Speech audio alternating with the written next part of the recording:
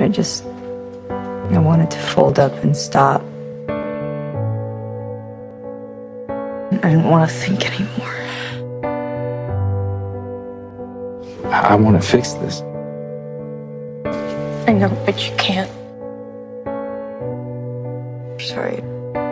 There are people here with real problems. Just like you.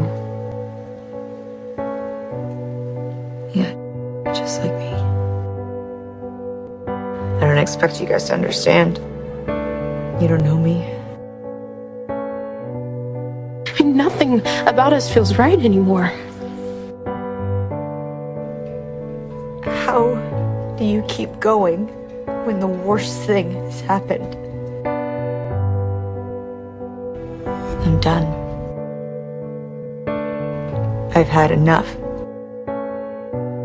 Can read your foolish mind.